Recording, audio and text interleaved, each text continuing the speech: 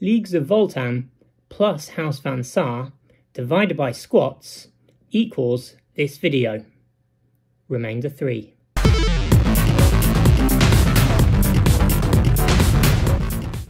Hello friends, I'm Rob, this is Digital Wastrel, and in this video I'm going to kit bash this free Leagues of Voltan miniature uh, into a member of my Van Saar gang. I was lucky enough to visit a Games Workshop store back when they were giving out the free Leagues of Voltan miniature a little while ago, and so in order to best capitalise on uh, the wave of excitement in the hobby community for the Return of Squats release, everyone was really excited about it. Um, yeah, so I left it in my cupboard for like uh, two months and just had to think about what I was going to do with it. Uh, timely as ever. I knew I wanted to use this guy for Necromunda. A squat bounty hunter was my first thought, but then I got gripped with Van Saar fever and I decided to make him part of my gang. I really like the visual connections between Van Saar and the Leagues. They both use tech from ancient STC devices which are designs from the dark age of technology that are long since lost to the Imperium, and as a consequence they have a much sleeker sci-fi look than is typical for 40k. The free miniature has robo feet which is really cool. There's no head though, just a visor. The first thing I like to do is have a look through my bits collection and see if there's anything that jumps out at me, grabs my attention, and uh, gives me some ideas. I was playing around with the other bionic bits, and this Space Marine arm looked like it would fit. Heads are one of the most important features of a miniature, so I compared some Van Saar heads to the Voltan body. They seemed a bit small, but the mask really ties the figure into the rest of the gang. Going back to Marines, I found a respirator head and I tried it out. The scale seemed much better. The Van Saar sprue has a loose mask attached to some pouches, so I trimmed that off with the idea of putting it on top of the marine head. Sticky tack is great for trying out bits combinations. I've also been using Necron bits recently, and I had this head left over. This might work too.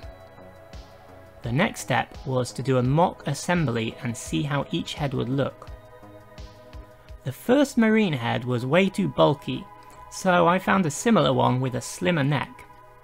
It looks pretty good in this shot, but in real life it fitted kind of awkwardly and didn't, didn't really work.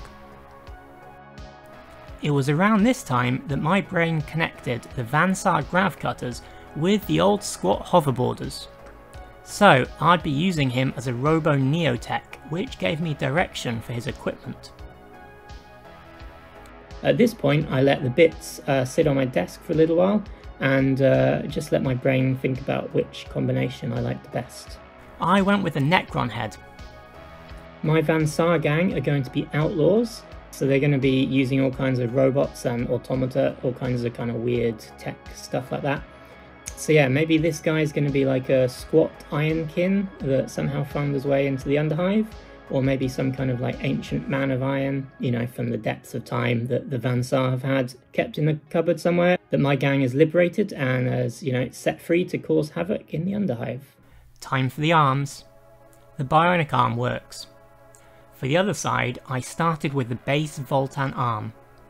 I trimmed off the cuff. The rest of the bolter goes in my bits box. Maybe I'll make an augmech armed with a bolter, as the style of the gun kind of fits the house.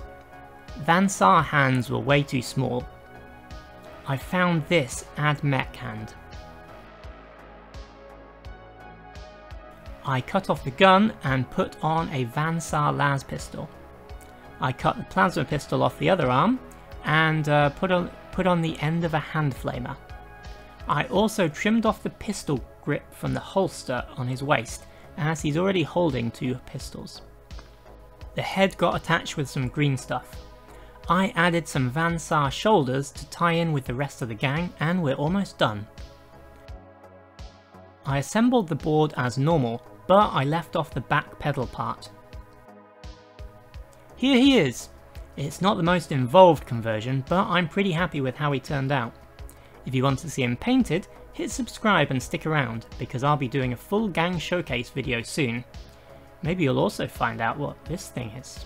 Thanks for watching. Bye!